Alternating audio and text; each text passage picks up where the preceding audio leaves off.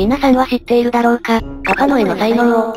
コミックスを読んでるともともと画家を目指しているとかなんとか、時々そういう描写が出てくるよね。うむ、パパはもともと画家を目指していたのは本当なのだが、なぜ諦めたのか、そしてその実力がどうだったのだろうか、その点について解説していきたいと思うぜ。というわけで今回は、本当なら今頃大金持ち、パパの絵の実力に迫る、だ。600万円。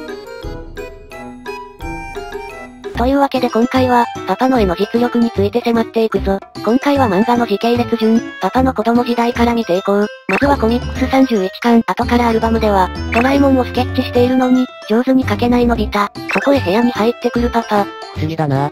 どうしてのび太は絵が下手なのかね。僕に聞かれても困るんだけど。いやいや描いてるんだろ。当たり、宿題だから仕方なく。絵は心だ。何かを見て美しいなとか悲しいなとか可愛いなとか、心に感じたら、それを表現するのが芸術だ。パパなんか小学生の頃全国図画コンクールで金賞を取ったんだぞ。嘘記念写真を見せてやる。待てよ。うっかりしてた。あれは戦争中、空襲で焼けちゃったんだ。と、実は子供の頃から絵の才能があったパパ。そこでのび太が、後からアルバムという秘密道具で、過去に燃えてしまった写真を探し出すと、本当に小学生の頃、全国図画コンクールで金賞を取るほどの実力を持っているのだった。おお、パパ小さい頃から本当に絵の才能があったんだね。うむ、しかも全国で金賞を取るレベルだからな。なので当然将来の夢も美術家でな。コミックス6巻、この絵600万円では、のびくんじゃないか。やこれはこれは。懐かしいな。何十年ぶりかね。すっかりご立派になられて。いやいや、君こそ大きくなったな。今も書いてるの。いえ、もうすっかり諦めました。たまには遊びに来なさいよ。はい、ありがとうございます。今の人かい、洋画家の柿原先生だよ。え、あの有名な。ほら、この雑誌にも先生の絵が出てる。なんだ、落書きみたいな絵だね。バカ絵。600万円もするんだぞ。600万円。そんな偉い先生と、パパがどうして、知り合いなのかって？先生は、元子の近くのアパートにいて、僕はそこへお習いに行ってたんだよ。あの頃は、ひどい貧乏暮らしだったな。誰も先生の絵を認めなかったからね。100円でも、買い手がつかなかった。2、3枚買っときゃよかったな。と、パパは中学生から本格的に絵を勉強していたらしく、将来の巨匠、柿原先生の元に習いに行っていたというのだ。この後、ドラえもんとのび太が600万円に目がくらみ、実際に25年前の柿原先生の元へ向かうと、色々あって、絵を買うことができず、再度訪問すると、先生は出かけてるけど、集金なら払えないよ。と、柿原先生ではなく、中学生が出てくるのである。そう、この少年こそ少年期のパパ、中学生ののびのびすけなのだ。こう、のびさんも絵を描くのですか？そう。画家になるのが、僕の夢なんだ。と、中学生から画家を目指して頑張っているというのだ。中学生の時点で、将来の夢を持って行動できるってすごい。うむ、そしてその実力はどうだったかというと、これなんかどう？この絵が、一番うまいと思うよ。少なくとも、何描いたか見当がつくもんね。と、部屋の中にあったもので、のび太とドラえもんが一番上手と称したこの絵画。パパ、これ見て。あ、見なさい。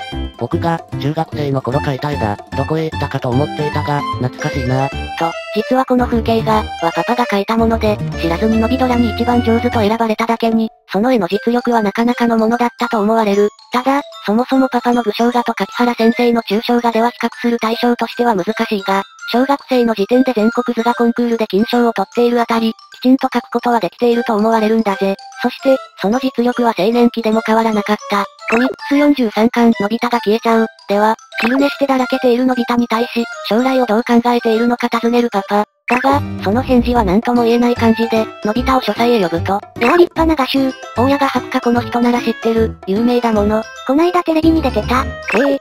その絵描きさん、パパの友達だったの。ずっと昔だけどね、あいつも立派になったもんだ。でも、ひょっとしたら、僕がこうなってたかもしれないんだよ。ちょうど今から20年前の2月15日、あれが僕の運命の分かれ道だったんだな。それどういうこと？詳しく聞かせて。そもそも僕は、画家になるのが子供の頃からの夢だった。親父の反対で美術学校には入れなかったがね、本式に絵を勉強するためのお金を出してやろうという人が現れたんだよ。留学したければ、フランスでもイタリアでも行かせてやると言われて、迷ったなぐずぐずしてるうちにチャンスを逃がしたけどね。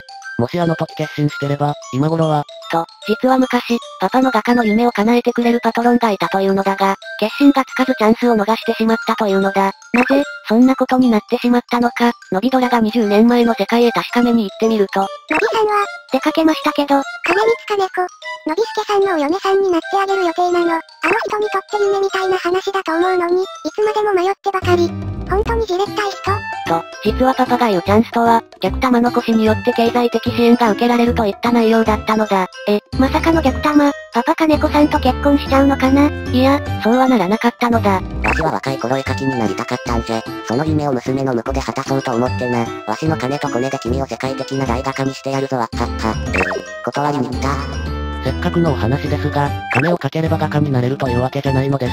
それに、どんな仕事をしながらでも絵は描けますから、もっと早くお断りしたかったのですが、金子さんががっかりして傷つくと思うと。バカにしないでよ。パパ、第2候補の大家さんに電話して。おう、それがダメなら、第3候補もおるぞ。あんたみたいなバカな人大嫌い。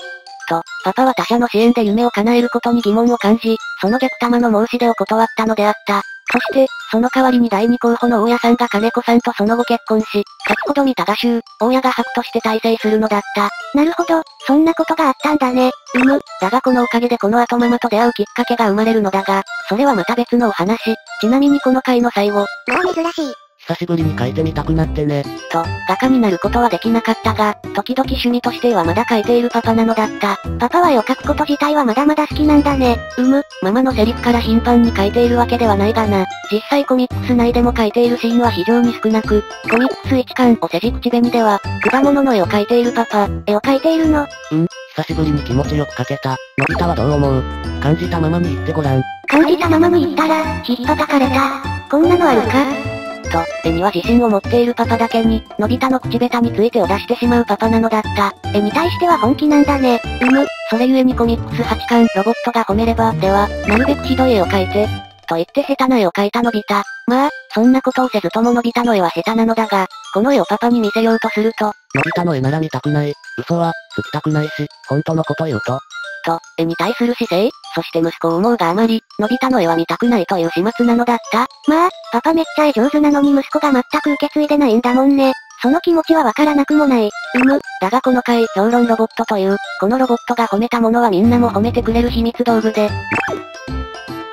天才としか、言いようがない。僕は、画家になるのが夢だったが、のび太が、その夢を実現してくれそうだ。と、道具のせいではあるのだが、のび太が画家の夢を叶えてくれたことに感極まってしまい、泣きながら感動に打ち震えるパパなのだった。やっぱり自分の夢を息子が叶えてくれると嬉しいもんなんだね。ただ嘘なのがちょっと残酷だけど、うむ、まあでものび太にはのび太なりの才能もあるからな。そこはワイコってことで。というわけで、以上でパパの画家や絵に関する全てなのだが、最後に少しだけおまけを紹介して終わりにしよう。お願いします。先ほどコミックス6巻、この絵600万円で登場した柿原先生。昔は落ち目荘というアパートに住んでいたのだが、今現在はどこに住んでいるのか。コミックス11巻、あらかじめアンテナでは、郷土でかけるところだったパパ、一体どこに行くかというと、なんと先ほどの柿原先生の家、しかも実は家から歩いて行ける距離に住んでいたのだ。意外と近くにいたのね。うむ、そして現在では結婚して奥さんと一軒家に住んでいたのだ。ちなみに奥さんはおはぎを作るのが上手だぞ。なんか平和な老後っぽい感じがしていいね。うむ、というわけで次。先ほど、パパは大人になってから絵を描いたのはコミックスでは2回、1巻お世辞口紅と43巻のび太が消えちゃう、ぐらいしかなかったが、藤子 F 不二雄大全集18巻絵の中で海水浴では、解体の世界に入れる秘密道具で、魚釣りでもしたいね。お父さんが描いてあげよう。変な絵を描かないで。と、牙の生えた鯛のような魚を描いたこともあるのだ。わらわら。それでは次。パパは大人になってからも画家を目指していただけあって、芸術に関しては敏感なことが多い。例えばコミックス7巻ウルトラミキサーでは、骨董品、巨大な壺を収集する趣味があったり、藤子 F 不二雄大全集10巻水族館ガスでは、応接間、か書斎に藤の絵を飾っていたりと、芸術品に関しての趣味があったり、藤子 F 不二雄大全集9巻ふんわりガスでは、飛行機を作ってもらってるの。よかったわね。でもパパに作れるかしら？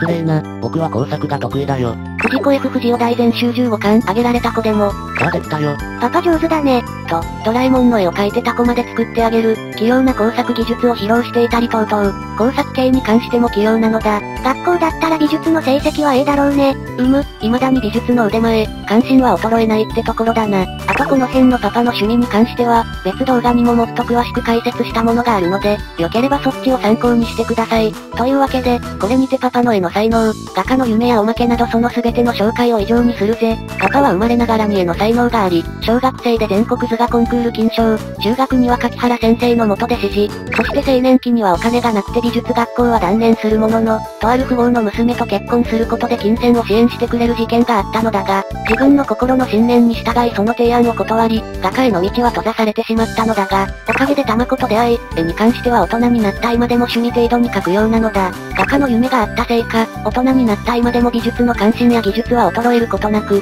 上手な絵や、手先の器用な工作をコミックス内では随所で確認することができる。ただ、残念なことにこの才能はのび太に遺伝することはなく、嘘でのび太が上手に絵を描いた時は、自分の夢を息子が叶えてくれたと、涙に打ち震えていた。というわけで今回はここまで、ご視聴ありがとうございました。